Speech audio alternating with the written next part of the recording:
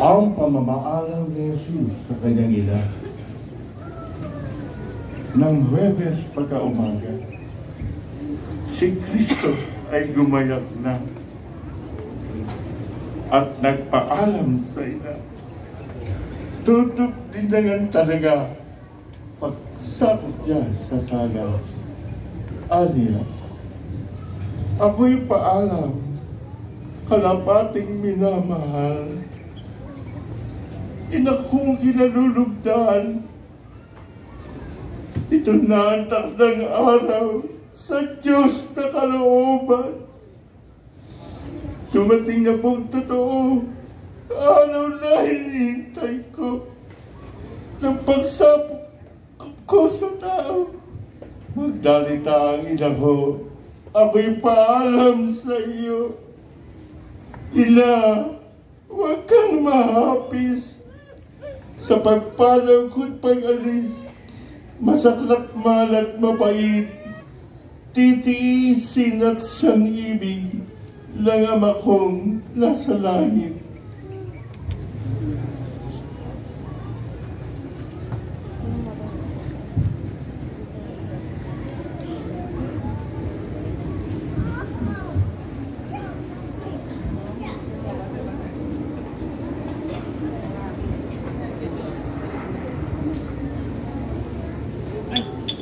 ang pagtatatag ni Jesus ng banal na Eukaristiya.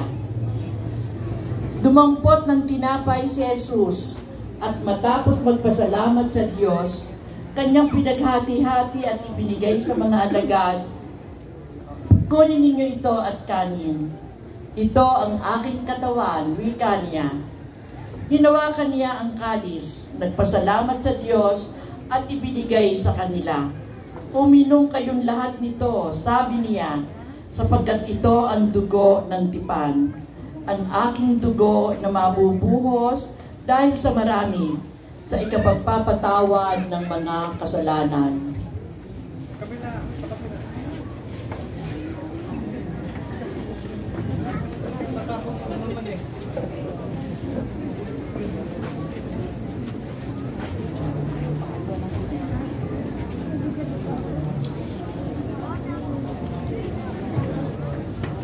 Ang panalangin ni Jesus sa halamanan, gaya ng kanyang inaagalaan, umalis si Jesus at nagtungo sa bundok ng mga ulibo at sumama ang mga alagad.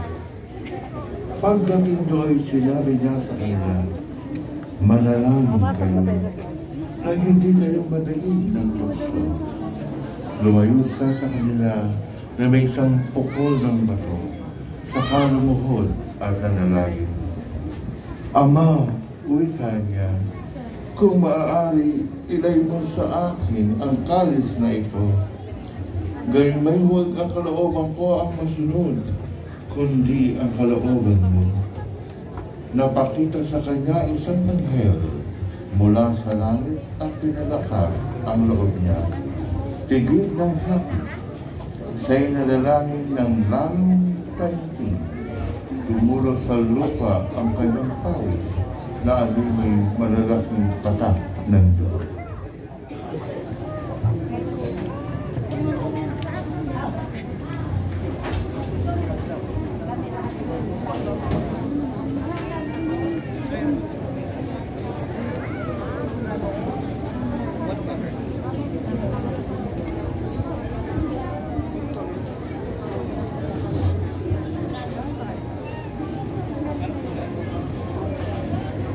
Apostol Santiago ang nakatatanda, ang anak ni Zebedeo at Maria Salome at kapatid ni Juan.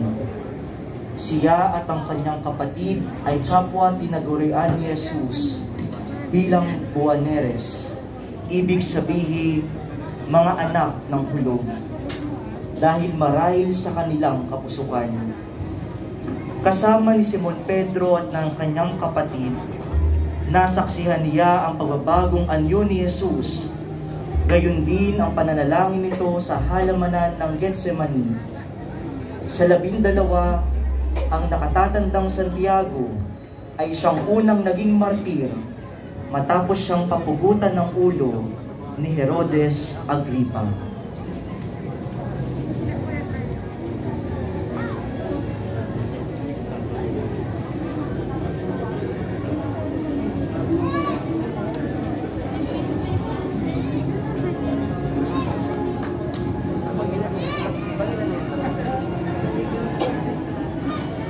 San Andres, isang alagad ni Juan Bautista na kilaunay naging alagad din ni Jesus.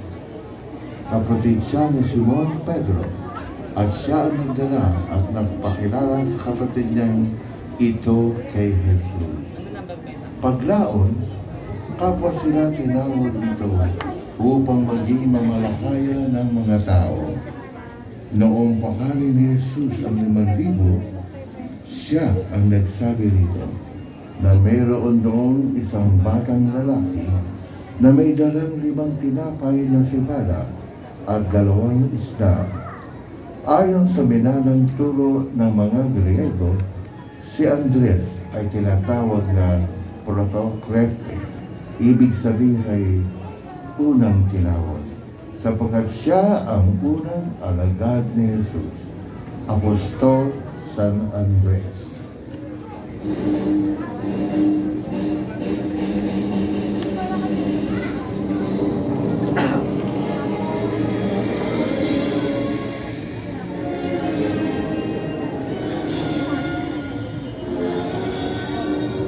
Apostol Santo Tomas, ang alagad na tinataguri ang Didimo, ibig sabihin kambal. Noong magkasakit at mamatay ang kaibigan ni Jesus na si Lazaro, siya lamang sa labindalawa ang hindi tumutol na sila ay magbalik sa Judea upang dalawin ito. Gayunpaman, nang mapakita ang muling mabuhay na si Jesus sa mga alagad, hindi nila siya kasama, kaya hindi niya ito pinaniniwalaan. Makalipas ang walong araw, muling napakita si Jesus at ang pagkakataong yon naroon si Tomas. Nakita niya ang butas ng mga pako sa mga kamay ni Jesus. Gayun din ang sugat sa tagiliran nito at doon niya napatunayan ang katotohanan ng muling pagkabuhay ni Jesus. Apostol Santo Tomas.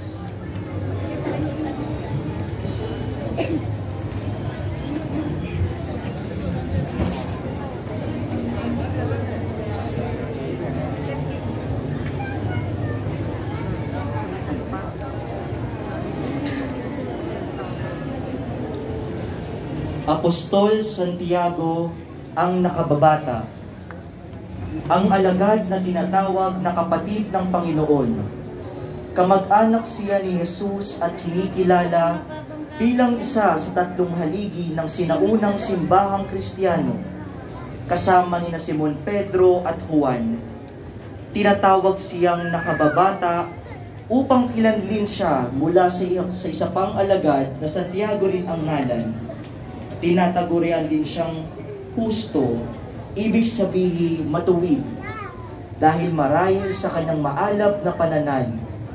Ang nakababatang Santiago ay siyang naging unang pinuno sa simbahan sa Jerusalem at siya ring may akda ng sulat ni Santiago sa bagong tipan. Apostol Santiago ang nakababata.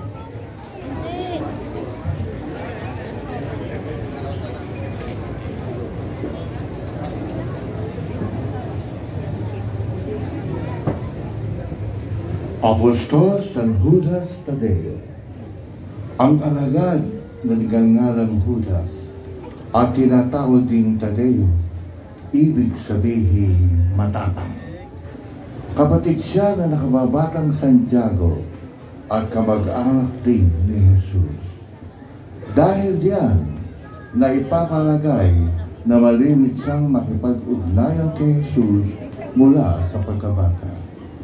May pagpapalagay din na naging masugid ang pagsunod niya kay Jesus matapos siyang piliin ito para makabilang sa labing dalawa.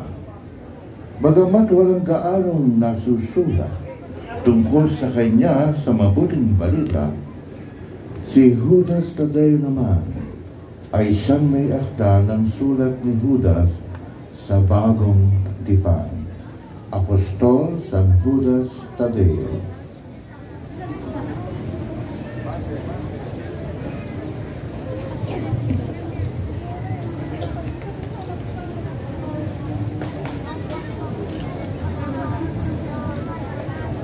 ang pagkakanulo kay Jesus. Dumating si Judas, isa sa labing dalawa, na may kasamang maraming tao, na may dalang mga tabak at mga pamalo. Galing sila sa mga punong saserdote at sa matatanda ng bayan. Bago pa sila dumating doon, ibinigay na ng taksil ang kanilang ang ganitong hudyat. Ang hagkan ko ang siya nating pakay, dakpin ninyo agad. Kaya't nilapitan ni Judas si Jesus at binati. Magandang gabi po, Ginoo. Sa kahinagkan, sinabi sa kanya ni Jesus, Kaibigan, gawin mo na ang sadya mo at nilapitan si Jesus ng mga tao. Ang pagkakanulo kay Jesus.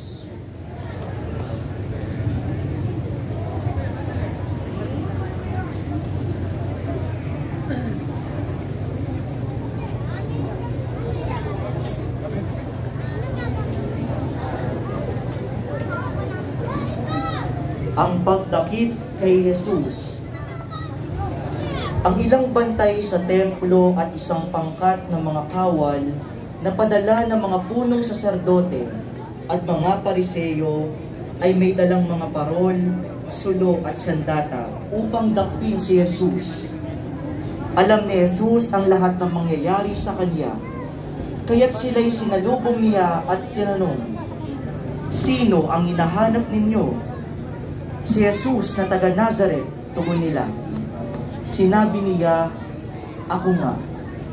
Muli siyang nagtanong, Sino nga ba ang hinahanap ninyo? Si Jesus na taga Nazareth, sagot nila. Sinabi ko na sa inyong ako nga, kung ako ang hinahanap ninyo, hayaan ninyong umalis ang mga kasama ko, ika niya. Kaya't si Jesus ay dinakip at ginapos ng mga bantay na Hudyo at ng pangkat ng mga kawal sa papumuno ng kanilang kapitan. Ang pagdakip kay Jesus.